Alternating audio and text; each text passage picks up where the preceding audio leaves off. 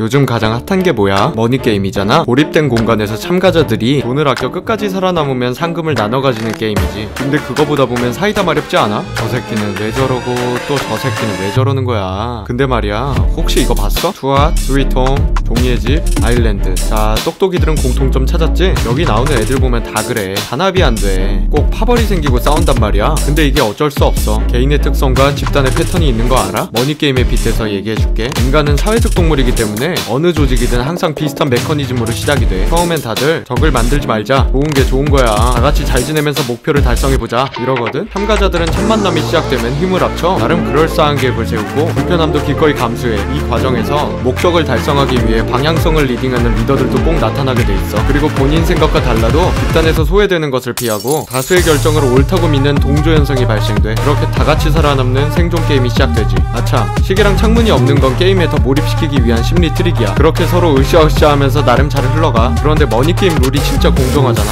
근데 게임의 룰에 인간의 본성이 개입되면 여러 가지 문제가 생기기 시작해. 배설물, 그리고 맛있는 걸 먹고 싶은 욕구, 담배도 피우고 싶고. 그러다가 본인이 집단에 희생되고 있다라고 생각하는 리더 그룹에 반하는 참가자가 나오게 되고 파벌 형성을 주도하게 돼. 파벌 형성에 성공하면 두 집단 간의 갈등과 싸움이 벌어져. 법적 제약 조건이 없다면 극단적인 상황에서 폭력과 살인도 일어나겠지. 싸움에서 승리한 그룹은 패배한 그룹을 흡수하고 참가자 간의 급이 나뉘게 돼. 패배한 그룹은 승리한 그룹과 더 이상 동등한 위치가 아니야. 그냥 노예나 다름없지. 패배 그룹은 승리 그룹보다 적은 생활비를 배분받게 돼. 점점 패배 그룹의 불합리함이 커지게 되면 다 같이 게임에서 승리하는 것보다 다 같이 자멸하는 길을 택하게 돼. Schadenfreude 알아? 남의 불행을 볼 때 기쁨을 느끼는 심리야. 머니 게임은 다 같이 살아남는 생존 게임으로 포장되어 있지만 시간이 지날수록 인간의 본성 때문에 나 혼자 살아남는 서바이벌 게임이 되는 거지. 전체 모수가 줄어야 상금을 많이 가져가잖아. 물론 리더 역할이나 참가자들 성향도 중요해. 어느 곳에나 좆 같은 녀석 하나 있으면 분위기 이상해지고 파멸하잖아. 어쨌든 이게 인간 사회에선 당연한 패턴이지. 인간은 학교든 회사든 어느 집단이 있으면 꼭 파벌이 있고 정치질이 있잖아. 으쌰으쌰해서 아름답게 끝나는 건 동화밖에 없어. 인생은 역시 실전인 것 같아. 머니 게임 속 인간의 본성을 생각하면서 보면 더 킹잼이 되지 않을까? 어쨌든 난 결국 파멸 엔딩으로 끝날 것 같아. 이상 잡학다식 스튜디오